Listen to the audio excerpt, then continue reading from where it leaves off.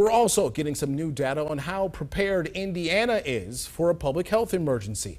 A new study just came out today rating all the states by different factors like vaccine rates and patient safety. It showed most states are not prepared, and Indiana is in the bottom third. The study looked at things like seasonal flu vaccination numbers, and only 50% of Hoosiers who were recommended to get the flu shot actually got it.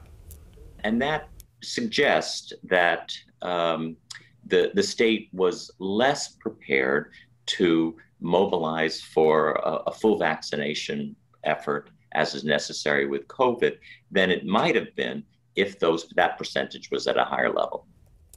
But it wasn't all bad. Now, Indiana did well with nurses being able to help in emergencies, even across state lines. The study also looked at how important sick leave was for workers during the pandemic, as well as funding for federal, state, and local departments.